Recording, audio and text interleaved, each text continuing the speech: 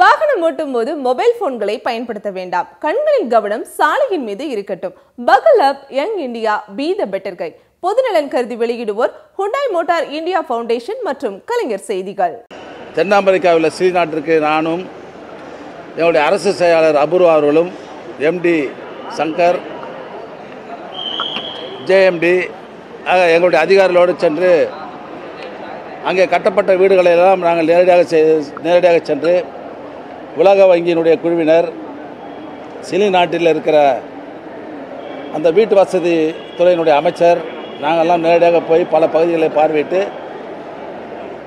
ஆய்வுக் கூட்டங்கள்லாம் நடத்தி இப்போ அங்கே என்ன பண்ணுறாங்கன்னு சொன்னால் ஏழைகளுக்கு வாடகை அதாவது பத்து வருஷத்துக்கு வாடகை அவங்களே கொடுத்துட்றாங்க.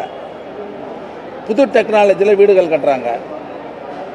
இப்போ அங்கே பார்க்குற போது இங்கே நம்ம வந்து தமிழ்நாட்டில் நாம் தான் நல்லா நடத்துகிற மாதிரி தெரியுது. அங்கே ஒன்றும் அவ்வளோ பெரிய சிறப்பு இல்லை. இருந்தாலும் புதுமையான முறையில் புது டெக்னாலஜியில் வீடுகள் கட்டப்படுவது அது ஒரு பிரமிக்கத்தக்க அளவுக்கு எங்களுக்கு இருந்தது. அது பெரிய இந்த பயணம் மிகப்பெரிய நம்முடைய ப நாட்டில் அந்த நகர்ப்புற வாழ்விட மேம்பாட்டு வாரியத்தின் சார்பில் ஏழைகளுக்கு கட்டப்பட்ட வீடுகள் புதுமையாகவும் நவீனமாகவும் கட்டப்பட வேண்டும் என்ற உணர்வு எங்களுக்கு ஏற்பட்டிருக்கிறது.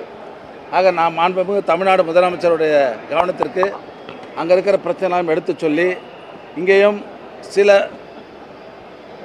திட்டங்களை நடைமுறைப்படுத்துவதற்கு முதலுடைய ஒப்புதலோடு நாங்கள் நடைமுறைப்படுத்திருக்கிறோம் என்பதை நான் தெரிவித்துக் கொள்கிறேன். ஆக நல்ல பயணம். அங்கே நல்ல பெரிய நல்ல நாடு.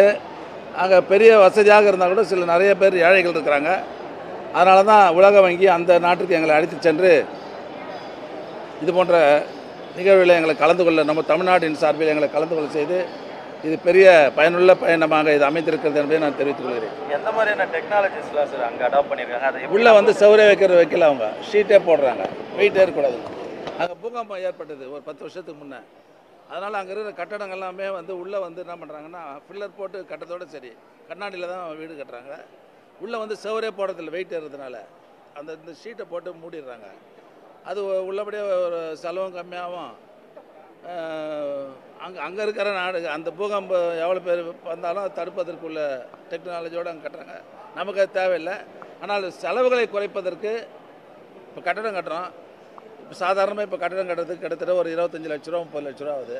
அதை குறைக்க அந்த செலவு குறைக்கணுன்றதான் இப்போ எங்களை கூட்டின்னு போயிடறாங்க அந்த டெக்னாலஜி படி நம்முடைய பகுதியிலும் அது போன்ற நடைமுறை நாங்கள் கை கைப்பற்றுவோம் என்பதை தெரிவித்துள்ளோம் ஓகே தேங்க்யூ